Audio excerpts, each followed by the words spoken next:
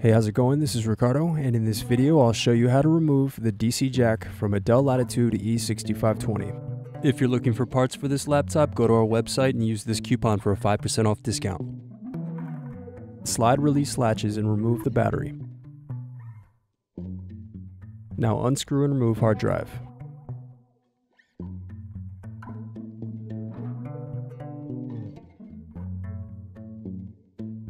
Now unscrew and remove access door.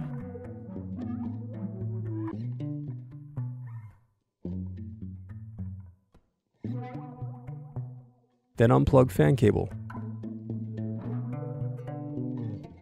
Now unscrew and remove cooling fan.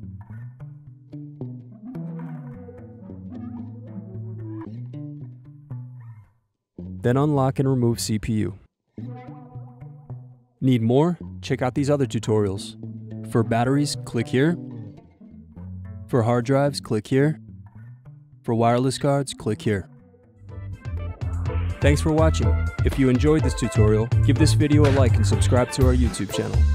Check the video description below for links to written tutorials and replacement parts.